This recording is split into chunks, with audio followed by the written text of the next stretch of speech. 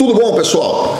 Aproveitando o dia aqui amanhã cedo para gravar vários vídeos na sequência, porque aí a gente vai anotando aqui o que a gente tem que gravar e aí depois a gente, quando tem um tempinho, a gente já grava todos eles. Então vamos lá. É, eu recebi uma pergunta que eu achei muito interessante e quis trazer aqui para vocês.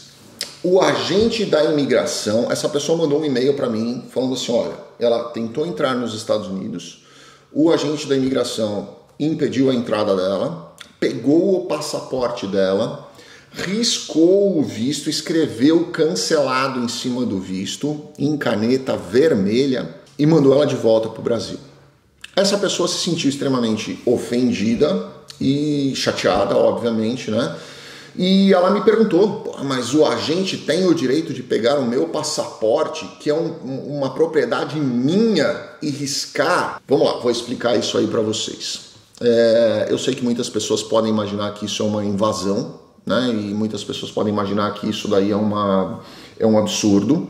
Mas na verdade, como é que funciona? O passaporte, o passaporte não é seu, o passaporte é uma propriedade do Estado. Né? O, propriedade, o, o passaporte ele é brasileiro, ele não é do José, ele é do Brasil. E, e vocês podem ver, inclusive, aí uma, uma, uma, uma decisão recente do STF dizendo que o passaporte, na verdade, é um privilégio, não é nenhum direito da pessoa, apesar de eu discordar disso, tá? Eu não concordo com isso, mas é, ele diz que o passaporte é um privilégio da pessoa. Eu enxergo que o passaporte é um direito, porque você, como cidadão de um determinado país, você tem direito a um documento de identificação. E esse documento de identificação, ele pode ser nacional ou internacional, principalmente se você trabalha fora do país, ou se você trabalha para multinacionais, ou se você vai ter uma oportunidade de emprego, pode acontecer do dia para a noite. Você pode ser chamado para trabalhar numa multinacional no Chile, por exemplo.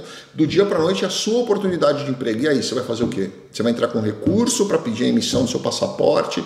Então, eu discordo um pouco dessa, dessa normativa do. do de, pouco não, eu discordo muito dessa normativa, dessa, dessa nova decisão aí do STF, assim como eu discordo de diversas outras decisões do STF. Mas, enfim, é o que nós temos no Brasil e as coisas vão funcionar assim por um tempo até que alguém é, resolva realmente criar uma tese e mostrar para eles que não, essa decisão não é correta, certo?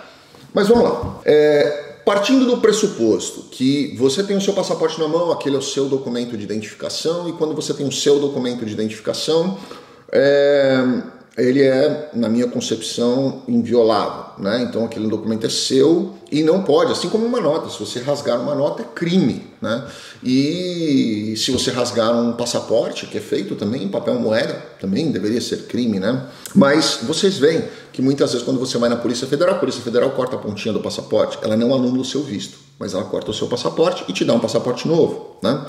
Quando você vai renovar, e é assim que as coisas funcionam. Quando o agente de imigração é, na verdade, quando o agente consular ele emite o seu visto, aquele visto é, um, é de propriedade dos Estados Unidos. Então, ele não pertence a você, ele é um benefício concedido a você, que pode ser revogado a qualquer momento, pode ser cancelado a qualquer momento. E aquele papel que foi estampado no seu passaporte, ele não pertence a você, ele pertence ao governo americano e ao Departamento de, de, de, de Homeland Security dos Estados Unidos. Então, ele sim, ele pode é, destruir o seu visto, rasgar o seu visto. O que ele não pode rasgar o seu passaporte.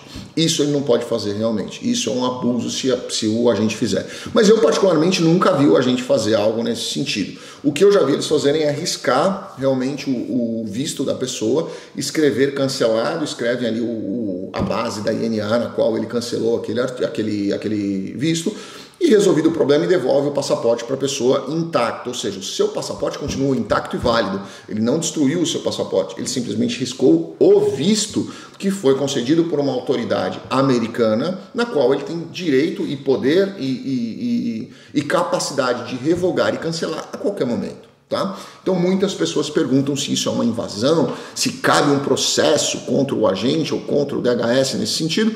Não cabe, eu entendo que não é um direito dele de cancelar o visto, é um direito do país de impedir a pessoa de entrar no país, porque você tem o direito de abrir a porta da sua casa, ver quem está do lado de fora e fechar, não tem?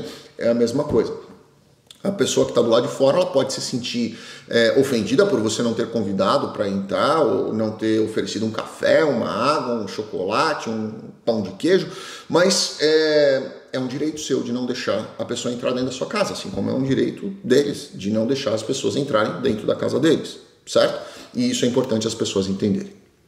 Bom, deixa aqui embaixo quem já passou por isso, quem já viu esse tipo de cancelamento, quem, o que, que vocês acham desse tipo de, de, de, situação. Deixa a sua opinião aqui. A legislação fala uma coisa, mas muitas vezes as pessoas se sentem chateadas, ofendidas, humilhadas até né, por esse tipo de situação, mas é algo muito mais corriqueiro do que vocês realmente imaginam. Certo? Deixa aqui embaixo nos comentários para a gente debater sobre essa questão. Grande abraço a todos, fiquem com Deus. Obrigado.